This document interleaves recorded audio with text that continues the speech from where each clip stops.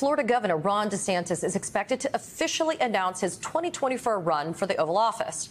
But as he prepares to pitch his Make America Florida platform to a larger audience, his relentless attacks on education and his inane feud with Disney is reaching new limits ultimately at the expense of Floridians and the Florida economy. Disney is now pulling the plug on a billion dollar development that would have created more than 2,000 jobs in the region. And as that feud keeps escalating, DeSantis used the new College of Florida in Sarasota as a backdrop to sign three new bills that gut funding for diversity, equity, and inclusion programs in Florida's public universities. That move has some new college students taking matters into their own hands. Graduating class created what they called an alternative commencement in protest of DeSantis' hostile takeover of their school. Civil rights attorney and activist Maya Wiley didn't hold back when delivering the event's keynote address. You have had to be strong in the face of a few who would tell you that you can't read what you want to read, that you can't speak what you want to speak, that you should get in line with an ideology that is not yours and call that, call that freedom? Civil rights attorney, college professor, and president and CEO of the Leadership Conference on Civil and Human Rights, Maya Wiley, joins me on set this morning. I would like to say you're also my friend, too, so I'm honored for you to be here. Maya, anybody listening to your commencement address would have been inspired, but it was the alternative commencement at the new college. What was the energy like when you were there on Thursday? Well, I have to say, and this is such an important thing to note about who the new college is, who their students are, who their faculty are. It was simply joyous. And I think that's what they wanted. They wanted to show, you know, we're just people who care about each other, that are in a community that's a learning community. Uh, and they were determined, determined to celebrate themselves in the face of students who have been called names by trustees appointed by the governor, names, right? People, adults who are supposed to demonstrate to them that they are cared for and that their ability to be who they are is valued, have been called druggies, have been called weirdos by a sitting trustee.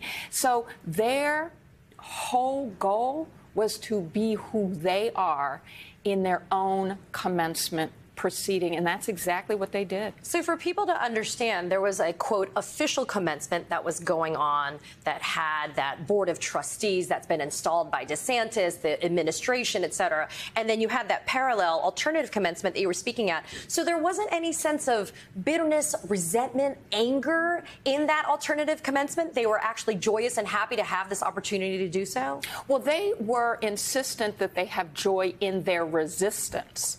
They were very clear that they were resisting the attack on their ability to have the educational freedom they wanted, their the attack on their ability to be who they are. Remember, a lot of these students are LGBTQ students.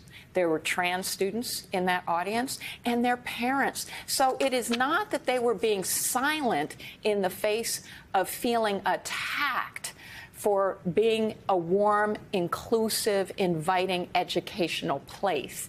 It's that they insisted that they were not going to show up with anger, but with joy for being in community with one another. And that was such its own compelling, I think, counterpoint to the next day. So let's both of us take a quick listen to what Governor DeSantis said earlier this week about students who actually want to pursue DEI programs. Let's take a listen.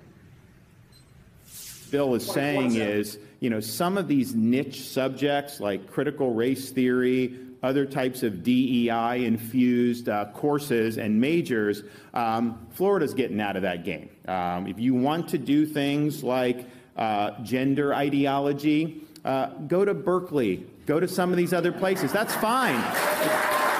My, you're a professor. My father, my late father, was a college professor for decades. Brain drain is a very real threat in the state of Florida, but that actually would involve people coming to Florida, learning, and then leaving. But now you got people like DeSantis saying, don't even come here. We're going to warn you off of even coming here. Go somewhere else. I mean, it's it's so anger. It makes me angry to listen to the narrow mindedness that a state's governor is promoting in terms of an education.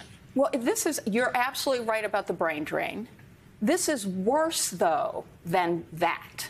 Much worse. Because what DeSantis is doing in that statement is taking an ideological position, not an academic one an ideological position that says if you're learning gender studies, if you're learning African American studies, if you have a program in a college that says we're going to work on ensuring that we're a diverse place, that all our voices and experiences are heard and respected, and call that off limits in a publicly funded institution one that he is trying to model on a private Christian school in Michigan.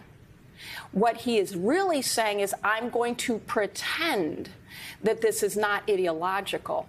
But actually, it is. It is actually an attack on freedom of education. It is an attack that says we will tell faculty members that they can't teach despite their training and education in the ways they think fits the mission of the institution, and we will threaten their very careers if they do. So that's not freedom you always inspire. So, Maya, what were your parting words during this alternative commencement to these students to give them hope, to tell them that there are people like you that are allies that are not maybe in their backyards, but in other places that are supporting them? Two things. I reminded them that every single expansion of civil rights, of democracy that we've had in this country has required a student movement and that what they're doing is emulating that history. And the second was I quoted Dr. Martin Luther King Jr., who the night before his assassination, for standing up for workers, for standing up for racial justice in Memphis, Tennessee, when he said, It is only in darkness that you can see the stars. And I called them the stars in our darkness and thanked them for shining the light.